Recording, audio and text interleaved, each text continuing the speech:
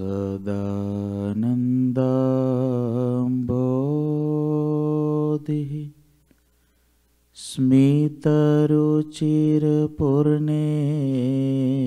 स्मितरुचिरपूर्णेन्दुवदन प्रफुल्लम्बो जन्मच्छदसदृश शोभाक्षियुगल कृपापारावार श्रितसकलजीवातिसुखदो महाश्रेयो मूर्तिर्जयति सहि नारायणमुनि वर्णिवेशरमणीयदर्शनं मन्दहाशरुचिरात्मनाम्बुजं पूजितं सुरनरोतमेर्मुदा धर्मनन्दनमहं विचिन्तये। ॐ अवतारिणे श्रीस्वामिनारायणाय नमो नमः। ॐ श्रीहरिकृष्णाय नमो नमः। ॐ श्रीपूर्णपुरुषोत्तमाय नमो नमः। બોલો શ્રી સ્વામિનારાયણ ભગવાનની, શ્રી હરિકૃષ્ણ મહારાજની, શ્રી ગણશ્યામ મહારાજની જય. બધાય ભક્તોને એથી જય સ્વામિનારાયણ. સદગુરુ આધારાનંદ સ્વામી શ્રી હરિચરિત્રમ સાગર ગ્રંથની અંદર પૂર આઠમો અને તરંગ ત્રણ એમાં છેલ્લે એમ કથા લખે છે, ભગવાન શ્રીહરિ ગામડી ગામની અંદર બિરાજમાન છે અને મહારાજ ભક્તોને ઉપદેશ આપતા એમ કહે છે કે આ જગતમાંથી જો પ્રીતિ નહીં તોડો, તો ભવ ભટકન મટશે નહીં અને જન્મ મરણમાંથી છુટકારો થશે નહીં. જન્મ મરણમાંથી છૂટવા માટે તો શ્રીજી મહારાજ કે જંગલમાં જવું પડશે અને વનમાં જવું પડશે અને વનમાં જશો તો ત્યાં કોઈનો સંગ લાગે નહીં. અને જ્યારે બધાઈથી નિસંગ થશો, ત્યારે મહારાજ કે કલ્યાણ થશે. આવું વનમાં જવાની મહારાજે વાત કરી હતી એ સાંભળીને આપણે બધાએ વિચાર લીધું હશે કે જંગલમાં જવું કે નહીં. વિચાર્યું? દાદા? અને હવે આ ભક્તોએ પણ શું વિચાર્યું છે? એ અહીંયા આગળ સ્વામી લખે છે, મુક્ત મુનિ ઉત્તમ રાજાને કથા સંભળાવે છે, પૂર આઠમું. તરંગ ચાર શ્રી હરિ કી સુની બાત હી સંસારી હરિજન જે હ બોલત બય કર જોરી કે કુનગત હમારી એહ બોલત બય કર જોરી કે કુનગત હમારી એહ હમ રહે સંસાર में रचे पचे दिन रात हम रहे संसार में रचे पचे दिन रात तुम्हारो है દ્રઢ સર નહીં ઓર ન જાનત બાત બધાનું હરખું જ હોય એ વખતના ગ્રહસ્થ હરિભગત હોય કે આજના હરિભગત હોય હરિભક્તોએ કેમ કીધું? શ્રી હરિએ જે વાત કહી, એને સાંભળીને ગ્રહસ્થ હરિભક્તોએ હાથ જોડીને શ્રીહરિને કહ્યું, અમારી સી ગતિ થશે? અમે તો રાત દિવસ સંસારમાં જ રચ્યા પચ્યા રહીએ છીએ. અમારે એક આપણો દ્રઢ આશરો છે, એ સિવાય અમે બીજું કાંઈ જાણતા નથી. હરિભક્તોએ સીધો જ ટોપલો નાખ્યો મહારાજના માથે. અમને કશી ખબર પડે નહીં. અને હરિભક્તો હતા કેવા પાછા? એકલા સંસારમાં રચ્યા પચ્યા રહેવા નહોતા. હમણાં એક ચરિત્ર આપણે સાંભળ્યું. પાંચ પાંચ મહિનાથી દૂરથી હરિભક્તો ચાલીને આવતા મહારાજના દર્શન કરવા. પાંચ મહિના તો પોતાના ગામથી નીકળ્યા. પછી મહારાજની ભેગા પાંચ મહિના ચાલીને આવે, રહે કેટલું? મહિનો તો રોકાય જ ફરી પાંચ મહિના જાય, વરસ પૂરું થઈ ગયું. તોય એવું કહે છે કે અમે સંસારમાં રચ્યા પચ્યા છીએ. એટલા માટે એ વખતે લખાઈ ગયું કે આપણે અત્યાર છીએ. એટલે તોય તમે બધા સમય આટલો કાઢો છો કથા વાર્તા સાંભળવાના આત્માના કલ્યાણને અર્થે વિચાર કરવા એ બહુ ધન્યવાદને પાત્ર છે. નહીં તો ઘણાને આટલો ટાઈમ નથી. પણ હરિભક્તો એમ કીધું, મહારાજ, અમે તો તમારા આશરે બેઠા છે. તમે જે કરો એ થાય, બીજી અમને કશી ખબર પડતી નથી. અને ભગવાનના માર્ગમાં એક વસ્તુ બહુ પાકી રાખવાની. મહારાજ કેવા છે? ભગવાન સ્વામિનારાયણે એવું નક્કી નથી કર્યું કે આ પ્રકારનું કરે તો જ મારે કલ્યાણ દેવું. એની પાસે કોઈ એવું કોઈ બીબું ફિટ નથી કરી રાખ્યું કે આ પ્રકારથી આ કીધું.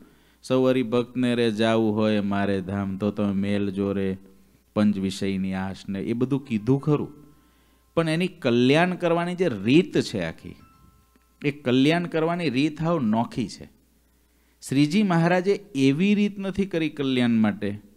કે આ જ પ્રકાર કોઈ પણ રીતે કલ્યાણ. હરિભગતના ગોળાનું પાણી પીવે તો એ કલ્યાણ ક્યારે નક્કી કર્યું હોય? હરિભગતના હાથના રોટલા ખાય તો એ કલ્યાણ ક્યારે નક્કી કર્યું હોય? મોડી ડોશી ક્યારે કહી શકે કે મારા હાથના રોટલા ખાધા છે, તમને ધામમાં જ આવવાનું છે? એના ધણીને કીધું. એ ક્યારે બોલી શકે? શ્રીજી મહારાજની રીત આવ નોખી છે. એટલે બહુ પાક્કું એટલું રાખવાનું જેવો તેવો તો પુત્ર તમારો અણ સમજુ અહંકારી રે. પેટ પડ્યો તે અવશ્ય પાડવો. વાલમ જુઓ વિચારી રે. ગમે એવો છું પણ મારા તમારો છું. તમારે તારવાનું છે. આપણે જાતે જો આપણા માર્ક મૂકવા બેઠા તો નપાસ થશું. અહીં આગળ એવું છે, પરીક્ષા લખાય કે ના લખાય? સપ્લિમેન્ટરી બંધ કરીને મૂકી દેવાની. અને ભગવાનને ખાલી એટલું જ કહેવાનું કે મારી અંદર કોઈ બુદ્ધિ નથી, મારી અંદર કોઈ ચાતુરી નથી. હું તો એડમિશનને લાયકે નહોતો. એડમિશન કોને દીધું? મહારાજે દીધું.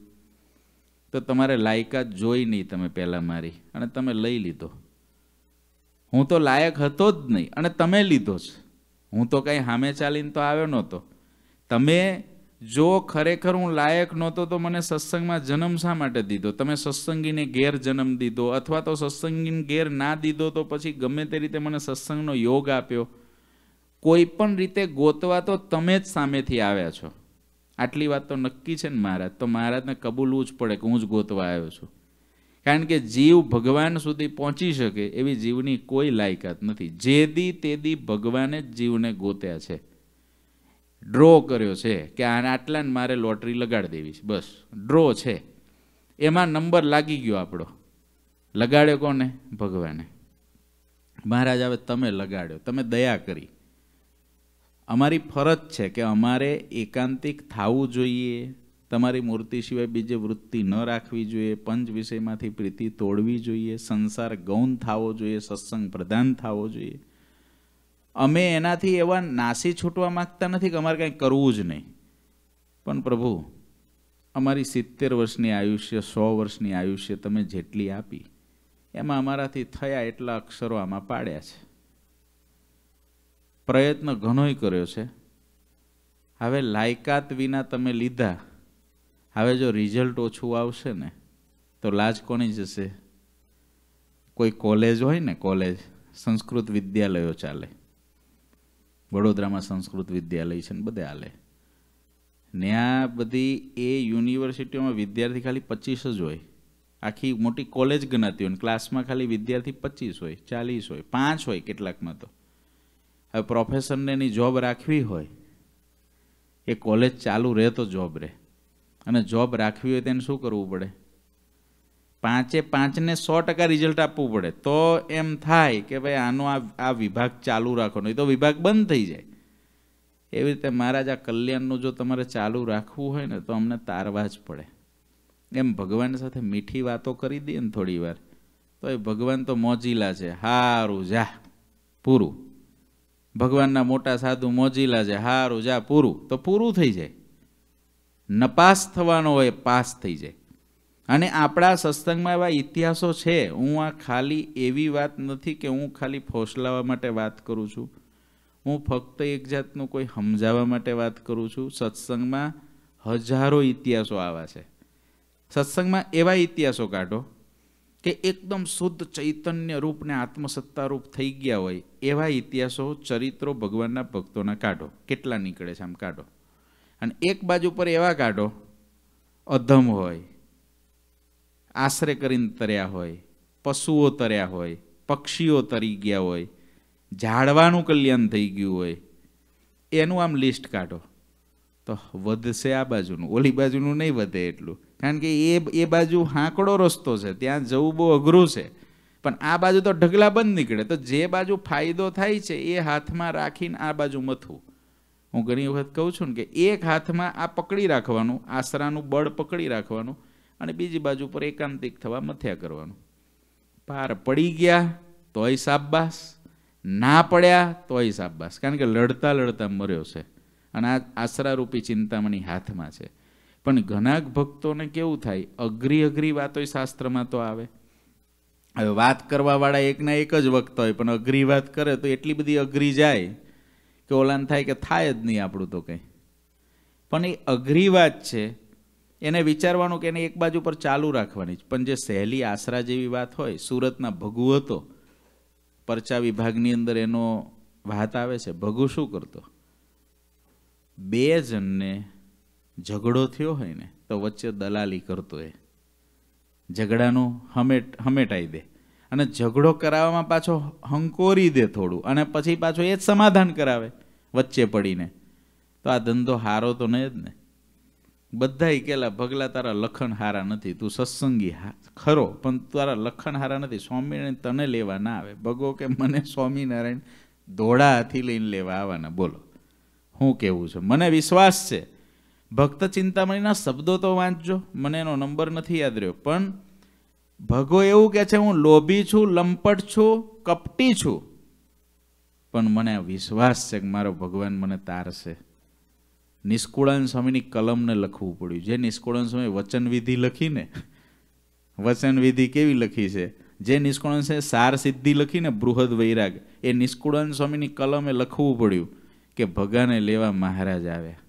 આ ભગવાન સ્વામિનારાયણ માટે કોઈ સ્ટેટમેન્ટ અપાય એવું જ નથી. કોઈને તમે એમ ના કહો કે આમ ને આમ, એ ગમે તે સરવાળો ખોટો પાડી દે.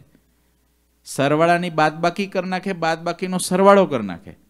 મોજ આવે ત્યાર કરે. આપણે હવારમાં સાત વાગે જોયું હોય કે આ રીતે ભગવાને સરવાળો કર્યો. હવે ફોર્મ્યુલા બનાવીને તમે સાંજે સાત વાગે કહો ભગવાન કે, મેં તો બદલી નાખી. મેં તો એક ગુણ્યા સીધા લાખ ગણી લીધા. એમ થઈ જાય. આપણી ગણતરી ખોટી પડે. આશરાની તાકાત એટલી છે. શ્રીજી મહારાજે કહ્યું, મુક્તાનંદ સ્વામીનો પ્રશ્ન છે પ્રથમના તેત્રીસમાં કે ભગવાન કલ્યાણને અર્થે જેટલા સાધન છે જેટલા સાધન છે, તપ છે, ભજન છે, સેવા છે, શ્રદ્ધા છે, ધર્મ છે, જ્ઞાન છે, વૈરાગ્ય છે, ભક્તિ છે. બધાય સાધનમાં એક એવું કયું સાધન છે કે જેમાં બધું આવી જાય? આ મુક્તાનંદ સ્વામીનો પ્રશ્ન. One in all one in all એવું કયું સાધન છે કે જેમાં બધું જ આવી જાય? અને ત્યારે શ્રીજી મહારાજ કે, એવો તો એક ભગવાનનો દ્રઢ આશરો છે. મોઢપણાએ કરીને, પ્રીતિએ કરીને સમજને કરીને ત્રણેવે કરીને. અને મહારાજે ત્યાં મુક્તાન સ્વામી બ્રહ્માનંદ સ્વામીને પૂછ્યું, તમારે તો કે અમારે હમજને કરીને આશરો છે. હવે હમજનથી આશરો થાય તો ભલે. એવો ના થાય તો પ્રીતિએ કરીને આશરો થાય. ભગવાન બસ મારા ધણી છે. આવા પુરુષોત્તમ નારાયણ આજ સવાર હું કહેતો ને, ઘરેલું સંબંધ. ભગવાન સાથે ઘર જેવો સંબંધ. બહુ મોટા છે, પણ મારા માટે તો ઘર જેવા છે. મારે તો પોતાના છે. મારા ધણી છે. એમ કરીને એની જોડે ઘર જેવો સંબંધ. તો પ્રીતિએ કરીને આશરો થાય ને. અને ત્રીજું એ ના થાય તો મોઢ પણ એ બહુ દયાળુ છે, બસ. મને બીજી કાંઈ ખબર નથી, પણ એ દયાળુ છે, કરુણાનો સાગર છે. ગુણાદિતાનંદ સ્વામી કહે છે, ભગવાન, જેમ ગ્રહસ્થ પોતાની મા બેન દીકરીને ઉગાડી જોઈ જાય તો આડું જોઈ લે છે, એમ ભગવાન પોતાના ભક્તના અવગુણ સામું જોતા નથી. એમ એવા મોટા મહારાજ, આવા મોટા સાધુના વચન પ્રમાણે મારા અવગુણ હામું નહીં જોવે. હું તો એના આશરા પર બેઠો છું. એ પણ તરી જાય. બીજું બળ છોડીને છે ને આશરાના બળને રોજ જીવમાં વધારવાનું. બીજું બળ છે ને જે બળ આપણા બળને ઘટાડી દે ને એવા બળને બહુ કરવા મહેનત નહીં કરવાની. પણ આશરાનું બળ જો લઈ લઈએ ને, તો કામ પૂરું થઈ જાય. મેડી કેળ હોય કોઈ પાસે, મેડિકેર. મેડિકેડ મેડી કે ને? જેમાં બધું જ જીરો કોઈ પેમેન્ટ કરવાનું નહીં. એવું છે ને મેડિકેડ હવે એ મેડિકેડ જેને મળ્યું હોય, એને લાખ ડોલરનું બિલ આવે તોય વાંધો કરો પાંચ લાખ ડોલરનું બિલ આવે તોય વાંધો કરો એને મહિનો હોસ્પિટલમાં રહેવાનું થાય તો. આશરો છે. ખરેખર તો એ બિલ આવે તો પરસેવો વાળ દે. પણ એક આટલું કાર્ડ હોય, આટલું જ કાર્ડ હોય તો આરામથી મહિનો ગમે તે દવાખાનામાં, ગમે તે ડૉક્ટર પાસે, ભાઈ, કાર્ડ છે મારી પાસે. વીસ ટકા ભરવાનું હોય એને પરસેવો થાય એક મિલિયનનું બિલ થાય તો, કે વીસ ટકા ભરવાના છે. એને પરસેવો થાય, પણ મેડિકેડ વાળાને ખુદી પરસેવો ના થાય. સંપૂર્ણ આશરો. એમ કલ્યાણના માર્ગમાં પણ છે ને, ભગવાનનો આશરો કોઈ પણ રીતે, આ મેડિકેડ છે ને, એમ કલ્યાણ કેડ રાખવું એક. એ આશરો છે, એનું કાર્ડ છે. જેટલો આપણો આશરો મજબૂત, એટલી એ કાર્ડની ફ્રિકવન્સી વધારે. જેટલો આપણો આશરો પોલો, એટલું એ કાર્ડની ફ્રિકવન્સી ઓછી, એટલે એની ક્રેડિટ ઓછી. જેટલું વધારે આપણો પાક્કો આશરો હોય ને, એ કાર્ડમાંથી એ પ્રકારનું જ આપણને કલ્યાણ મળે. આશરાની બહુ મોટી તાકાત છે. વધારે આશરાની વાત એટલા માટે ઘણી વખત ન કરીએ કે જેના કારણે જીવ ગાફલ ના થઈ જાય. એટલે થોડું સાધનનો પંપ આપવો પડે. બાકી આ જીવ તો એવો છે કે આશરો હારું ત્યારે આવે. કંઈ કરવું નથી. જીવ તો જાજો એવો જ છે આળસુન પ્રમાદી. એટલે આળસને પ્રમાદ ઉડાડવા માટે ક્યારેક થોડીક અઘરી વાતોય કરવી પડે. પણ મૂળ તો કલ્યાણનું આટલું જ છે. આશરામાં જ કલ્યાણ છે. અને સાધને કરીને કલ્યાણ ઝાઝા ભાગના જીવોનું છે નહીં, કારણ કે સાધન કરવાનો વેંત જ ના હોય, શું સાધન કરે? એ સાધન કરી શકે એટલે એની તાકાત તો હોવી જોઈએ ને. આજનો કળિયુગનો જીવ સાધન કરી કરીને શું કરે? એક ઉપવાસય માંડ માંડ થાય તો એમાં, એમાંય કેટલી પ્રકારનું લઈને બેહવું પડે? એમાંય પારનાનું આયોજન કરવું પડે? આજનો જીવ શું તપ કરે ને? શું ભજને કરી દે? વૃત્તિ કેટલી જગ્યાએ ફરતી ફરતી તો ભજન થતું હોય એનું. એટલે સાધન તો કાંઈ આપણા બહુ થાય એવા નથી. કળિયુગના આત્માઓ માટે બેસ્ટમાં બેસ્ટ આશરો. બસ, આશરે બેસી જવાનું. મહારાજ, તારો કે મારો? મારે આશરો તમારો. પ્રેમાનંદ સ્વામી કહે છે, પ્રેમાનંદ કહે, તારો કે મારો, સમરથ અંતર જામી મેં તો તેરે બિરુદ ભરોસે બહુ નામી. મને તો પ્રભુ મારો ભરોસો નથી. મને તો તમારા બિરુદનો ભરોસો છે. તમારા બિરુદનો ભરોસો છે. અહીંથી ઇન્ડિયા જવું છે મારે કાલે. તો જે પ્લેનમાં હું જવાનો હોઉં એ પ્લેનનો પાયલોટ ખરેખર સાચો હશે, સારો હશે, ઊંધું નહીં નાખે, એવું બધું તપાસ કરવા જઈએ છીએ આપણે? કાંઈ નહીં, ટિકિટ ખરીદી લઈ ને પટ્ટો બાંધી લીધો ને કહી દઈએ પરમદી ઇન્ડિયા ઉતરું છે. કેટલો આશરો આમ પાકો થઈ ગયો? અને મૂઢપણે આપણે ફર્યા કરીએ છીએ તો ઉતરી જઈએ છે ને? કોક વખત કોકનું વરી ડૂબે. બાકી તો પટ્ટો બાંધીને ઉતરી જ જઈએ છે ને. અને આ લોકના કદાચ ક્યારેક ડૂબે, એક લાખમાં ક્યારેક એક કેસ બની જાય. પણ એક આ દુનિયાના જે વ્યક્તિને આપણે જોયો નથી ફેસ ટુ ફેસ એવા વ્યક્તિઓના આશરા ઉપર આપણે આખા દરિયા ભવસાગરો તરી જઈએ આખા દરિયાઓ, ખારા દરિયાઓ તરી જઈએ છે. તો જેના આશરાએ કરીને હજારો તર્યા છે, હજારો તરે છે ને હજારો તરશે એમ શાસ્ત્રો કે છે. એકે ડૂબ્યો નથી આશરાવાળો. એમ તમામ શાસ્ત્રો કે છે. બળદના કલ્યાણ થયા. તો એવાના આશરા કરવાની અંદર, એવા પુરુષોત્તમ નારાયણના આશરામાં વિશ્વાસ મૂકવાની અંદર જીવ પોલો કેમ રહે? ઓલામાં પોલો નહીં.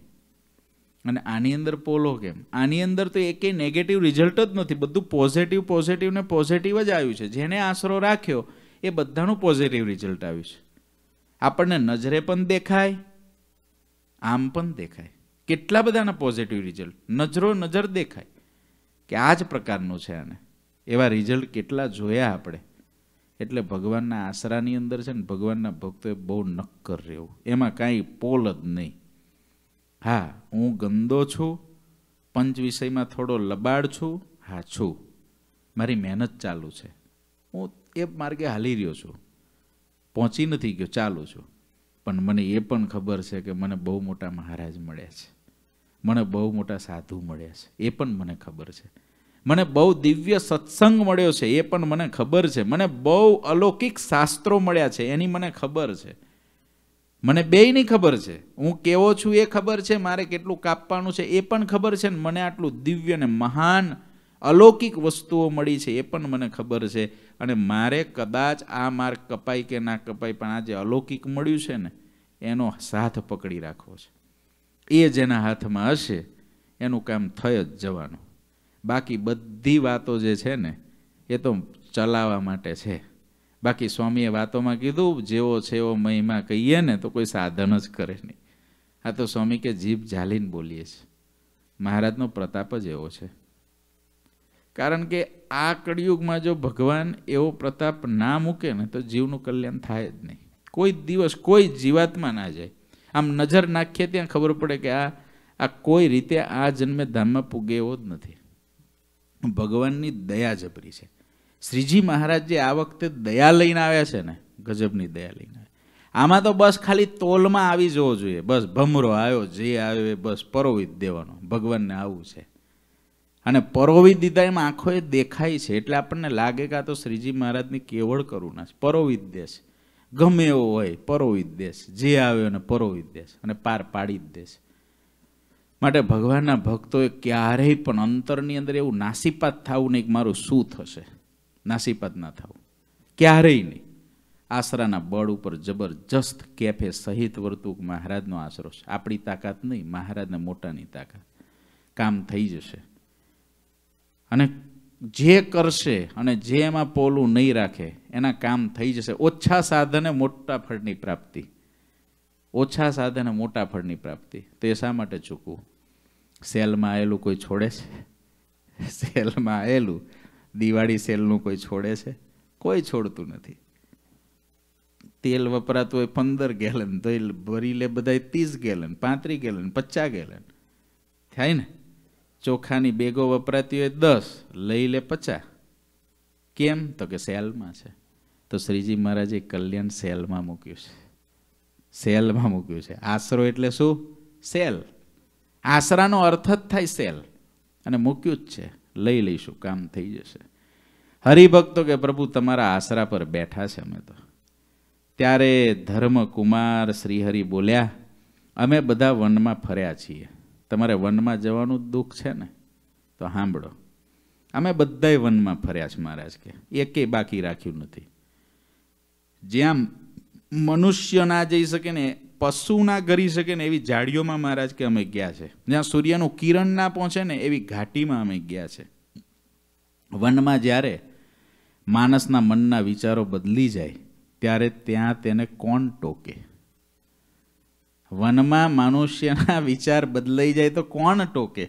ભરતજી ઠેક ગંડકીના કિનારે જઈને બેઠા. આજે પુલાશ્રમ જવું હોય ને, તો જીપ ગાડીમાં જો તમે આખો રસ્તો કાપો ને, ઠેક જોમસમ ને જોમસમથી પુલાશ્રમ, તો મન કે મનકા હરખા થઈ જાય. જો પાંચ દસ વખત જે આવે ને, તો સીધો હોસ્પિટલાઇઝ જ થાય. આજે જવું હોય તો. તો એ જમાનાની અંદર તો કેવું એકાંત હશે? ગાઢું જંગલ. તોય કોઈ ભરતજીને ટોકવાવાળું નહોતું, તો ત્રણ જન્મ આવ્યા.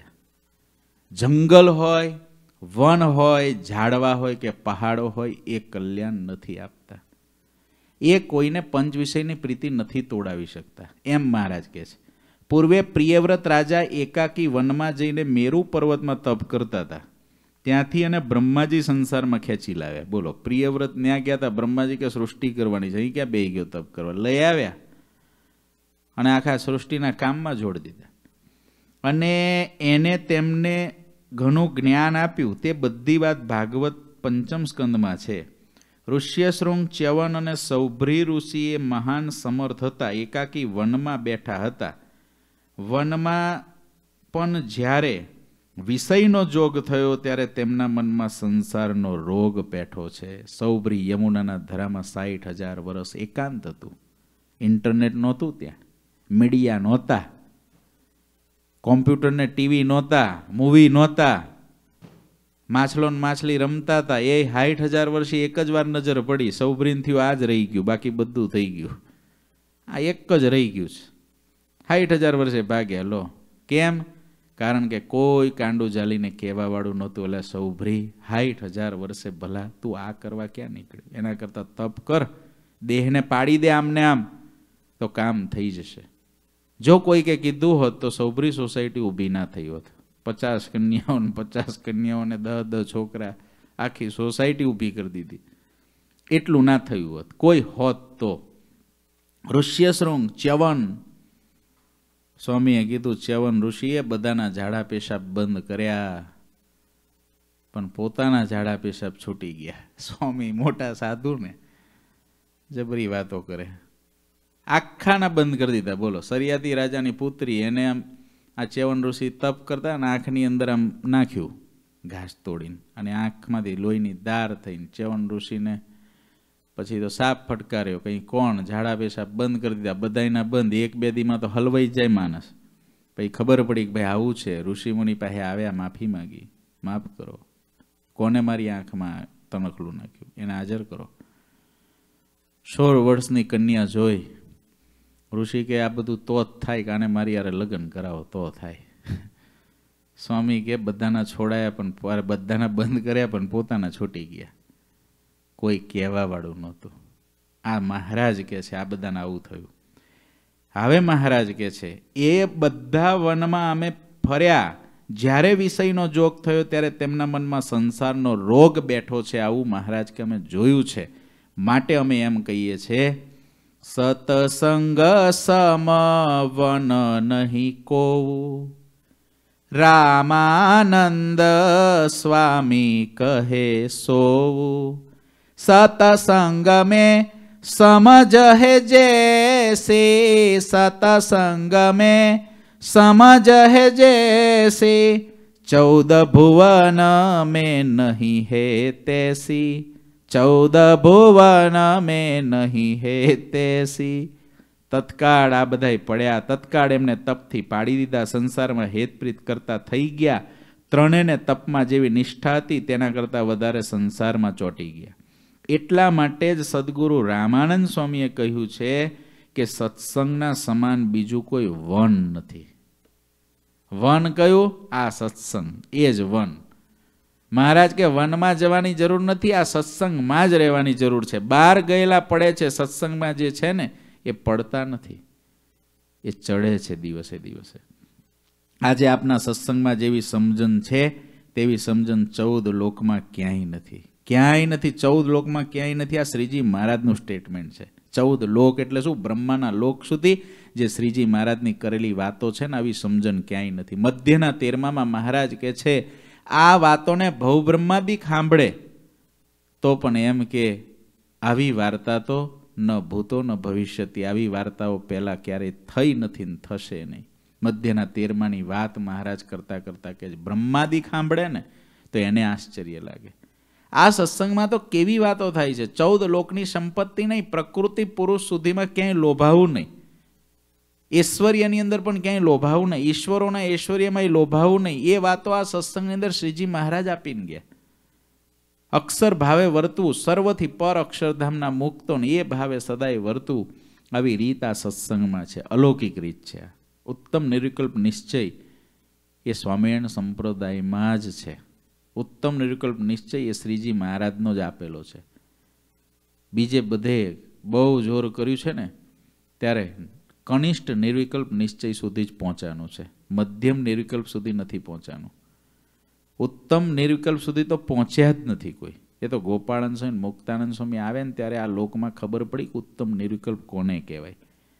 નહીં તો જે પૂર્વેના મોટા મોટા થયા ને, એ બધા કનિષ્ઠ નિર્વિકલ્પ નિશ્ચય સુધી શ્રીજી મહારાજે સારંગપુરના બારમાની અંદર એની વ્યક્તિ લોયાના બારમાની અંદર સોરી લોયાના બારમાની અંદર એની વિકતિ કરેલી છે મુક્તોની. ભવ બ્રહ્મા અને નારદના સમાન સમર્થ આખા બ્રહ્માંડમાં કોઈ ન ગણાય. ઇન્દ્ર, ચંદ્ર, પરાશર પણ સર્વોપરી સમર્થ હતા, પણ એમને જ્યારે વિષયનો જોગ થયો ત્યારે તેમની બુદ્ધિ એક પડવા ફરી ગઈ. આ બધાય સમર્થ છે. જો ઇન્દ્ર, ચંદ્ર બધા આકાશમાં ચમકે છે. પણ એકે એકને કલંક. કલંક વિનાને એકે નહીં. અને કેવા થયા મહારાજ કે કોઈ સામાન્ય મનુષ્ય પણ જેવું વર્તન ન કરે, એવું વર્તન કરવા લાગ્યા. સામાન્ય માણસને કાંઈ લાજ શરમ હોય, એને ખબર હોય કે આટલું થાય ને ના થાય. ક્યાં? બૃહસ્પતિ, પોતાના ગુરુ. એની સ્ત્રી આરે, ચંદ્ર. સામાન્ય માણસને પણ વિવેક હોય. એટલો વિવેક પણ આ દેવતાઓ હોવા છતાં નથી રહ્યો. તે કોઈ સામાન્ય મનુષ્ય જેવું પણ વર્તન ન કરે એવું વર્તન કરવા લાગ્યા. એવી એમની બુદ્ધિ બદલાઈ ગઈ. ભવ બ્રહ્માદિક જેવા જે સમર્થ હોય, તેની નબળી વાત કોણ કહી શકે? આવા સમર્થની વાતો નબળી લખાય નહીં.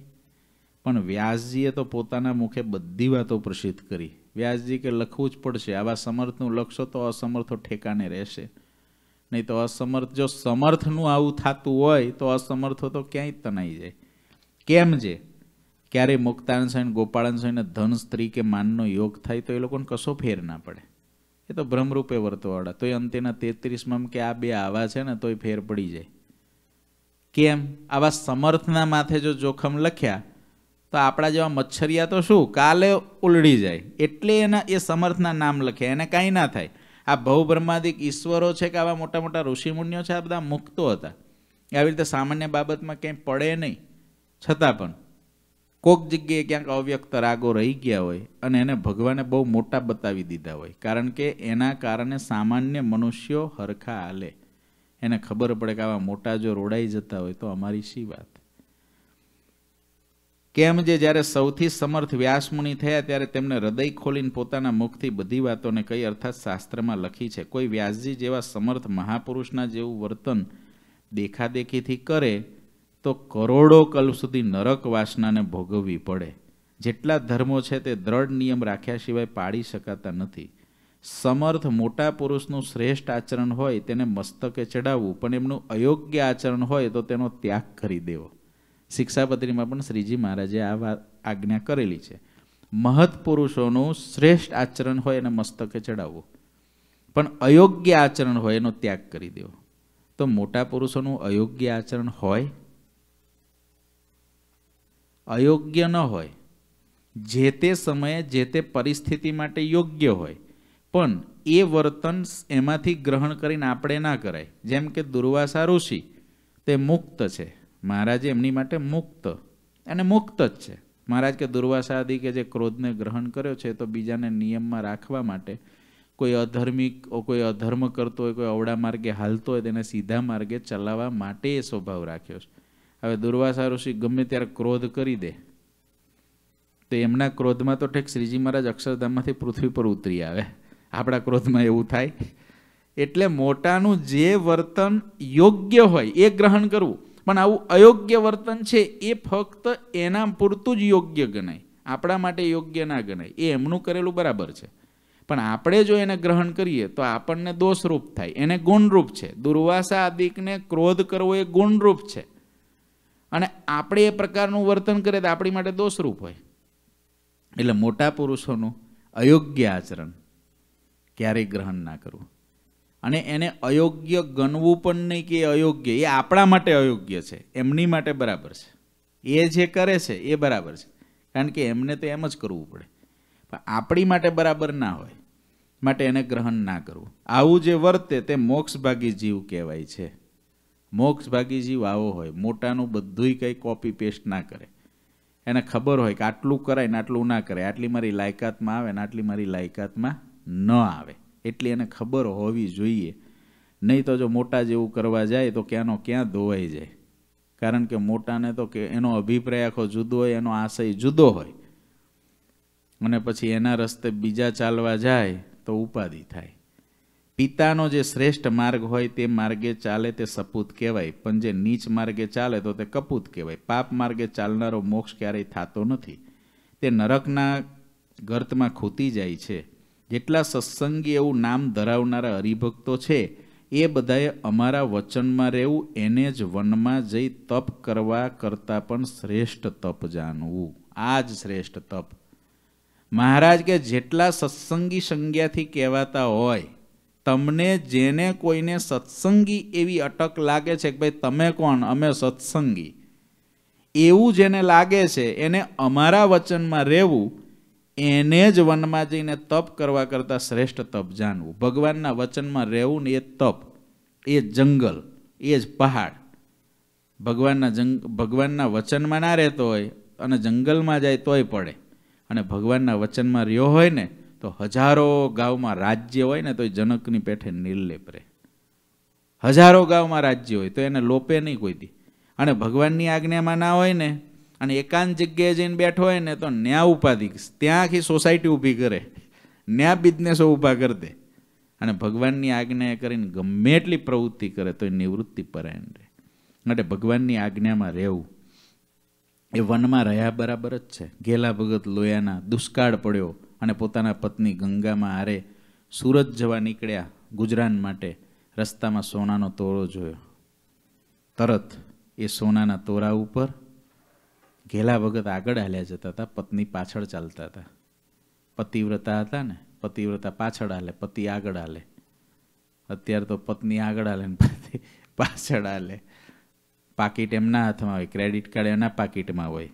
ભગત તો ખાલી ખિસ્સું જ ખાલી લઈને ફરતા હોય. બાકી બધું એમના હવાલે. લેવા જવું પડે એમની પાસે, કાપજો ભાઈ. ઘસવું છે તો પાછા એ પૂછે, ક્યાં ઘસવું છે? હું તમારે કરવું છે? તો પેલા ભગત કે ભાઈ, આ કરવું ના, એટલું નહીં, આટલું જ કરવાનું છે. સારું ભાઈ, એટલું કરશું આપો તો ખરા. અત્યારે તો એવું થઈ ગયું. ચેક બુક એની પાસે, સહી આપણે કરવાની, પણ બુક એની પાસે હોય, એવું થાય. ભગત આગળ હાલતા હતા ને, બાઈ પાછળ હાલતા. સોનાનો તોરો જોયો ને, ભગતે એની ઉપર ધૂળ નાખી દીધી. એટલે ગંગામાએ જોયું ધૂળ નાખી છે ગેલા ભગતે. આગળ થોડા હાલે ને, પછી ગંગામાએ પૂછ્યું કે તમે કેમ ધૂળ નાખી હતી પેલા તોડા પર? તો કે અત્યારે દુષ્કાળનો ટાઈમ છે, આપણી પાસે ખાવાનું નથી. હું તો પુરુષ છું, એટલે મારું મન ના બગડે. મુક્તાનંદ સ્વામીનો મેં સમાગમ બહુ કર્યો છે. પણ કદાચ તું સ્ત્રી છો ને તારું મન બગડે આ ભૂખના કારણે, એટલે મેં ઉપર ધૂળ નાખી. ગંગામાં કે તમે ધૂળ ઉપર ધૂળ નાખી, એમાં હું સારું કર્યું કે? તમને તો સોનું દેખાયું, ત્યારે તમે ધૂળ નાખી તમારાથી પહેલાં મારી નજર તો ન્યા પડી હતી, મને ધૂળ જ દેખાઈ હતી, સોનું જ નહોતું દેખાયું. તમે તો ધોળ પર ધોળ નાખી, મુક્તાનંદ સ્વામીની કથા તમે સામે બેન સાંભળી છે, તમે સાઈડ પર બેન સાંભળી છે, અમે સાંભળી છે કે અમે પચાવ્યો સત્સંગ. મને તો ધૂળ જ લાગી. અને ત્યારે ગેલા ભગત કે, ઓહો, મારા કરતાં હવાઈ હમજન છે. આ જંગલમાં રહ્યા બરાબર જ છે ને. ભૂખના ટાઈમે આવું મળે તોય છોડી દે. આ જંગલમાં રહ્યા બરાબર છે વનમાં રહ્યા બરાબર છે. જીનાભાઈને જ્યારે જુનાગઢની કચેરીમાં ગયા અને જુનાગઢના નવાબે આમંત્રણ આપેલું, મોટા રાજવી પુરુષ તરીકે ગયા અને ત્યાં બધી વેશ્યાઓ થઈ થઈ કાર કરીને નાચે દારૂના શીશાઓ બધે અપાય ને આ બધું થવા લાગ્યું. જીનાભાઈ તો આંખ બંધ કરીને સ્વામિનારાયણ સ્વામિનારાયણ માળા કરે.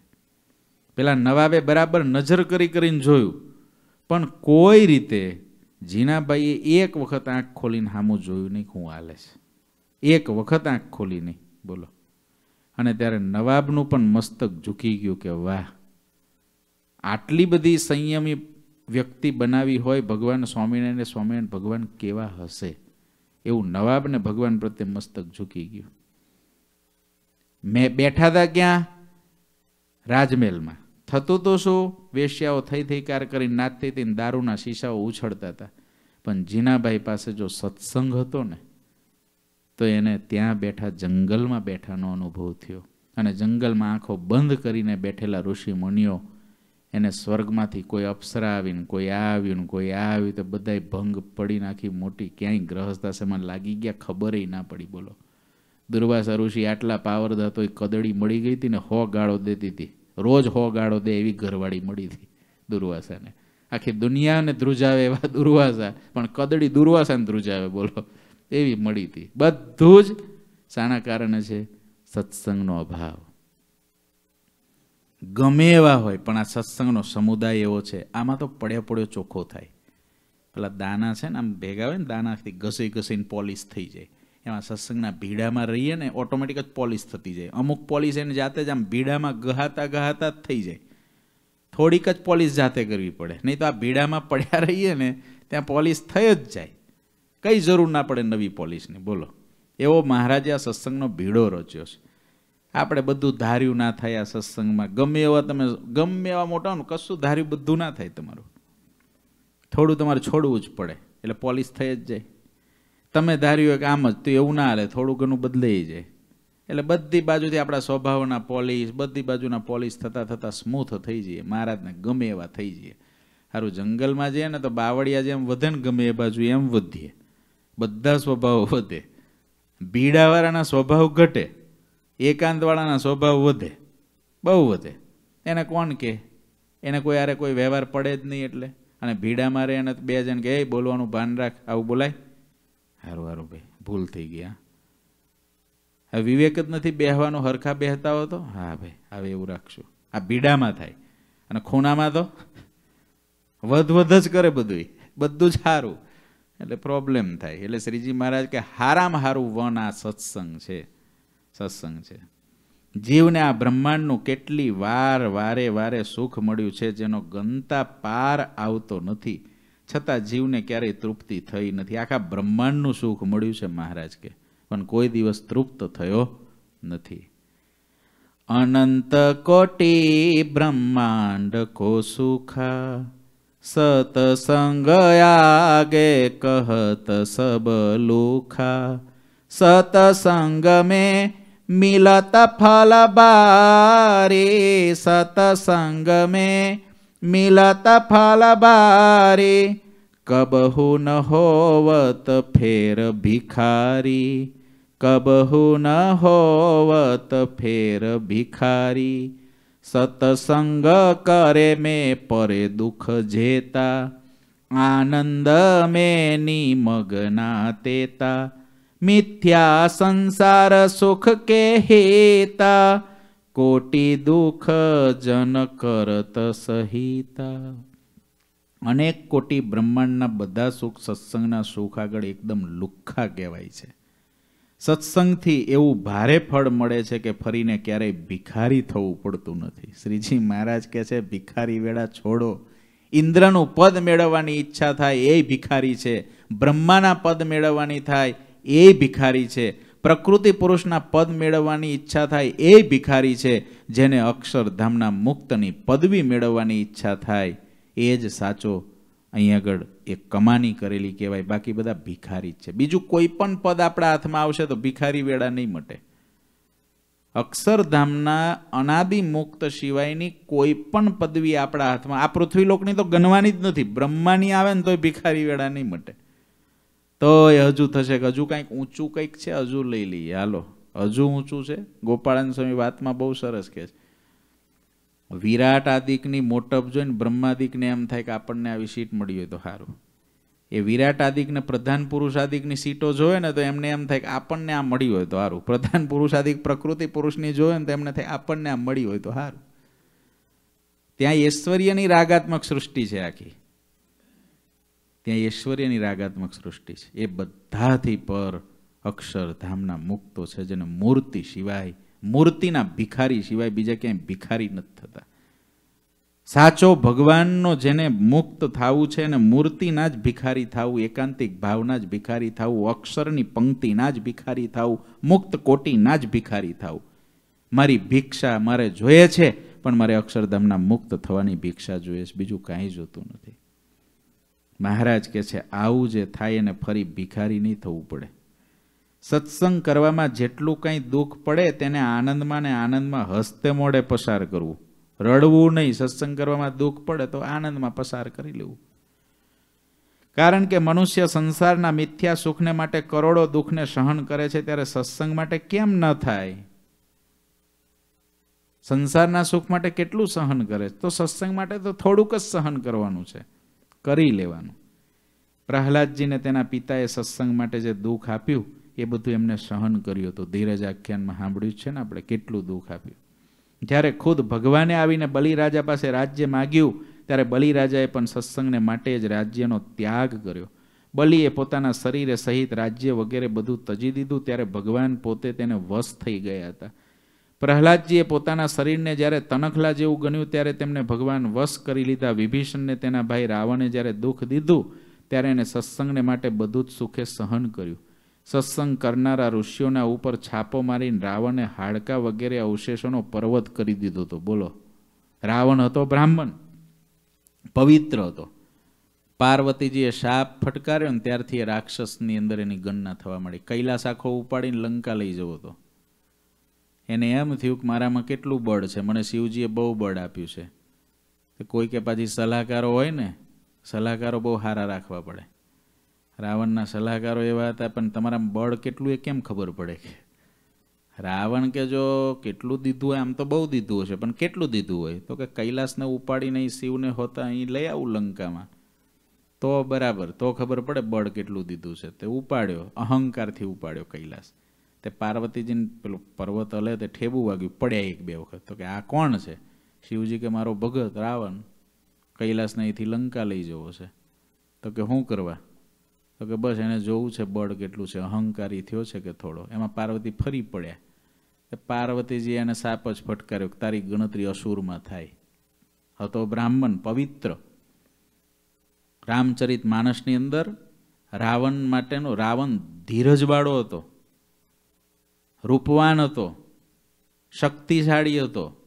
એના માટેના જે બિરુદો આપ્યા છે ને, બધા સારા સારા લખ્યા છે. અસુર તો પછી આ બધું કર્યું એટલે અને તોય પાછો કેટલો? એની અંદર બે ત્રણ ગુણ બહુ હતા. જો લક્ષ્મણજી મૂર્છા પામ્યા ત્યારે સુસેન જે વૈદ હતો, જેને જરૂર પડી, એ લંકાનો વૈદ હતો. એ રાવણની અનુમતિ લઈને આ સેવા કરવા ગયો છે. રાવણે રજા આપી છે. યુદ્ધ ચાલતું તોય જાઓ, કરો સેવા. સીતાજીનું હરણ કર્યું. બે વર્ષ સુધી સીતાજી રહ્યા અશોક વાટિકામાં. પણ સીતાજીનો કોઈ સ્પર્શ નહોતો કર્યો બે વર્ષમાં રાવણે. આટલો પાછો હતો. રામચંદ્રજી રામેશ્વરની અંદર શિવલિંગની સ્થાપના કરી, ત્યારે પૂજા કરવાવાળો બ્રાહ્મણ જોઈએ ત્યારે રાવણે જઈને પૂજા કરાવી ત્યાં. એટલે આમ તો પાછો બધું હતું, પણ પ્રોબ્લેમ આટલો જ હતો, અહંકાર. રાક્ષસ થવાનું મૂળ લક્ષણ શું છે? અહંકાર. અહંકાર આવે ને એટલે સારામાં સારા વ્યક્તિની ગણતરી પણ રાક્ષસમાં અસુરમાં થવા લાગે. રઘુનાથ દાસમાં બધા જ ગુણ હતા. પ્રોબ્લેમ ખાલી એક જ હતો. શું? અહંકાર. બધા જ રૂડા ગુણોને આસુરી લક્ષણમાં ફેરવી નાખે એવું જબરજસ્ત ટોનિક કો ચમત્કારિક દવા કો એ અહંકાર કે ચમત્કારિક વિષ કો એ અહંકાર છે. રાવણને એવું હતું. બાકી એના ગુણો તમે વાંચો ને, તો બહુ ગુણ. એની ઉપર તો લંકેશ્વર આખા પુરાણો છે. ત્રણ ભાગના પુરાણ એ વખતે એને કરાયા હતા લંકેશ્વર, આખું પુરાણ રાવણ પર. બોલો. ગ્રંથો લખાયા છે.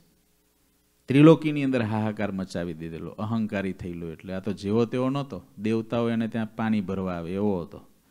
શિવજીની સેવામાં આવે, દેવતાઓ આવે બધું લઈને એનું. દીશ પકડીને ઊભા રહે, પૂજા કરો. એવો હતો. પણ છેવટે અહંકારના કારણે અસુર થયો. સત્સંગને તે પણ સત્સંગનો નાશ કરવા માટે જ કર્યું. વર્ણો અને આશ્રમોના જે ધર્મો છે તે અને યજ્ઞ યાદા યાગાદિક જે વિવિધ વિધાનો છે તે ભગવાન નારાયણે બ્રહ્માને શુદ્ધ રૂપમાં આપ્યા હતા, પરંતુ રાવણે બધું અશુદ્ધ કરી દીધું. રાવણે હિંસામય ક્રિયાઓને પ્રમાણ કરી નાખી, એમાં વર્ણાશ્રમના ધર્મ, યજ્ઞ, શ્રાદ્ધ વગેરેને રાવણે અધિક હિંસામય કરી નાખ્યા, તે બધી ક્રિયાને ભગવાને અહિંસામય બનાવી. ભગવાને રામ રૂપે પ્રગટ થયા અને સીતાને નિમિત્ત તે તેમને અતિશય પાપરૂપ તે રાવણનો નાશ કર્યો. વળી રાવણના પુત્ર ઇન્દ્રજીત વગેરે જે હતા, તેમને પણ પાપમય દેખીને ભગવાને એમનો પણ નાશ કર્યો. બ્રહ્માના પુત્ર વિપ્રવર પુલસ્ત્ય નામે ઋષિ હતા. રાવણ તેનો પુત્ર થયો. પુલસ્ત્યના પુત્ર હતા વિશ્રવા અને વિશ્રવાનો પુત્ર આ રાવણ હતો. જે મૂર્તિમાન પાપરૂપ હતો. વસુદેવ દેવકીને બીજા બધા યાદવો તેમને સત્સંગને માટે થઈને ઘણા દિવસ સુધી અતિ દુઃખ વેઠ્યું. ગોકુળવાસી, ગોવાળો, ગોપીઓ સૌને સત્સંગના હિતૈષી જાણીને કંસે અગિયાર વર્ષ સુધી તેમને ઘણું દુઃખ દીધું. પૂતનાને તૃણાવર્ત આદિક અત્યંત ક્રૂર અસુરોએ ઉપરા ઉપર આવીને એક એકથી અધિક વિનાશક પરાક્રમ કર્યા. પણ શ્રીકૃષ્ણે ગોકુલવાસી તે સૌને ઉગારી લીધા. ઇન્દ્ર યાગના ભંગ નિમિત્તે ઇન્દ્ર ગોકુળનો વિનાશ કરવાનું ધારીને આવ્યો અને ભગવાનનું મનુષ્ય ચરિત્ર જોઈને તેમને જોવા માટે બ્રહ્માએ પોતાની માયા રચી. પણ તેઓ પોતાની માયામાં પોતે જ ભૂલા પડ્યા. બ્રહ્મા માછલો થયા હતા ને? ભગવાને હાથ જ ના ધોયા, જા, પ્રસાદી લઈ લો આવે પરીક્ષા કરવા ગયા. ભગવાનની આગળ કોઈ માયા રચવા જાય તો પોતે જ ફસાય. ભગવાન ને ભગવાનના મોટા પુરુષ, બહુ સરસ શ્રીજી મહારાજે નીલકંઠ વર્ણી રૂપે રામાનંદ સ્વામીને પત્ર લખ્યો, એ આગે કરવી ચતુરાય તે વિચારી લેવું મન માય. ભગવાનને ભગવાનના મોટા પુરુષો આગળ કોઈ ચતુરાઈ નહીં, કોઈ બુદ્ધિ નહીં. ન્યા ચતુરાઈ કરવા ગયો એને પ્રોબ્લેમ થયા વિના રહે જ નહીં. ભગવાનની આગળ ચતુરાઈ કરવા જાય, એને પ્રોબ્લેમ થયા વિના રહે જ નહીં. પોતાના વિનાશને નોતરે છે. આ સંસારમાં અત્યારે હરિભક્તોના સમાન બીજું કાંઈ નથી. મહારાજ હરિભક્તોને કે આ હરિભક્તોનો જે આપણને સમુદાય મળ્યો છે, આના જેવું અત્યારે સત્સંગમાં કશું જ નથી. કારણ કે એમને ભગવાનના સ્વરૂપમાં અવિચળ સ્નેહ બાંધ્યો છે. સંસારમાં રહ્યા થકા તેનાથી હરિભક્તો ન્યારા રહે છે અને સત્સંગ વિના બીજે ક્યાંય હેત રાખતા નથી. જ્યારે હરિભક્તો દેહ છોડે છે, ત્યારે તેઓ ભગવાનના ધામમાં જાય છે. સુંદર શ્યામ પ્રભુ તેમને સાક્ષાત દર્શન આપે છે. સત્સંગ કરવાનું જે ફળ છે, તે તો ત્યારે કહેતા અંત સમયે માલુમ પડે છે. આ દુનિયાનું જે અનંત અને અપાર દુઃખ છે, તે પછીથી લગારે પણ રહેતું નથી. ગર્ભવાસનું દુઃખ પણ અપાર હોય છે. તે ગર્ભમાંથી બહાર આવ્યા પછી રહેતું નથી. તેમાં સંસારમાં જે દેહના દુઃખો હોય છે, તે ભક્તજન ધામમાં જાય, ત્યારે મટી જાય છે. સુખ દુઃખ સર્વે આવે ભેડું તેમાં રાખજો સ્થિરમતી જાળવીશ મારા જનને વળી કરીશ જતન હતી એમ કરતા જો પંડ પડશે તો આગળ સુખ છે અતિ ઘણું. પણ વ્રત ટેક જો ટાળશો તો ભોગવશો સૌ સહુતનું. નહીં તો તમે નચિંત રહેજો, કરવું તમારે કાંઈ નથી. જે મળ્યા છે તમને તે પાર છે અક્ષરથી. શ્રીજી મહારાજે ભક્ત ચિંતામણીમાં કીધું છે. ગમે એવું સુખ દુઃખ આવે. મહારાજ કે સહન કરી લેજો. તમારો દેહ પડી જાય એટલું દુઃખ આવે, સહન કરી લેજો. પંડ પડશે, આગળ સુખ છે અતિકનું. હું તમને આગળ જાળવી લઈશ. મહારાજનું આ વચન છે. માટે મહારાજ કે અહીં કદાચ થોડી આદિ વ્યાધિ આવે, પણ મુક્ત થયા પછી તો કાંઈ ઉપાધિ છે નહીં. તેમાં સંસારના જે દેહના દુઃખો હોય છે તે ભક્તજન ધામમાં જાય ત્યારે મટી જાય છે. શ્રીહરિ આટલી વાત કહી રહ્યા ત્યારે હરિભક્તોએ સંતોની પૂજા કરી લીધી. હરિભક્તોએ સંતોને કેસરચંદનની અર્ચા કરી ફૂલહાર પહેરાવ્યા એક એક વસ્ત્ર ઓઢાડ્યું. વર્ણ્યોને અને પાર્ષદોને પણ સંભાળીને તેમની પૂજા કરી. શ્રીહરિએ આ વખતે હરિભક્તોને અપાર સુખ આપ્યું છે. અવતારો તો અનંત થઈ ગયા, પણ ક્યારેય આવું સુખ હરિભક્તોને આપ્યું નથી. કળિયુગનું અતિશય બળ છે એમ જાણીને શ્રીહરિએ ઘણી કરુણા કરી છે. શ્રીહરિ પ્રસન્ન થઈને હરિભક્તોને ઘેર ઘેર ગયા તેમની પાસે પોતાની પૂજા કરાવીને સ્વીકારી. મહારાજે આ વખતે તો કેવળ દયા જ કરી છે શ્રીહરિ દરેક હરિભક્તોના ઘેર થાળ જમ્યા, વિવિધ પ્રકારના મેવા અને મીઠાઈ જમ્યા, ભક્તના જેવું રૂપ ધારીને આ અવતાર સર્વોપરી જણાવ્યો છે મહારાજે. આવી રીતે પોતાનું સર્વોપરીપણું આ પૃથ્વી પર આવીને પ્રસ્થાપિત કર્યું. એવું અહીંયા આગળ સ્વામી લખે છે. શ્રીજી મહારાજની આવી વાતો ગામડી ગામની અંદર થઈ છે. ઇતિ શ્રી સહજાનંદ સ્વામી શિષ્ય સિદ્ધાનંદ મુનિવિરચી શ્રી હરિચરિત્રનું સાગરના અષ્ટમપુરમાં શ્રી હરિએ ગામડીના ભક્તોને સત્સંગનો પ્રતાપ કયો એ નામે ચોથો તરંગ સમાપ્ત થયો ગણશ્યામ મહારાજની જે શ્રીપતિમ શ્રીધરમ સર્વદેવેશ્વરમ ભક્તિધર્માત્મજમ વાસુદેવમ માધવમ કેશવમ કામદમ કારણમ સ્વામિનારાયણમ નીલકંઠમ ભજ ગણશ્યામ મહારાજની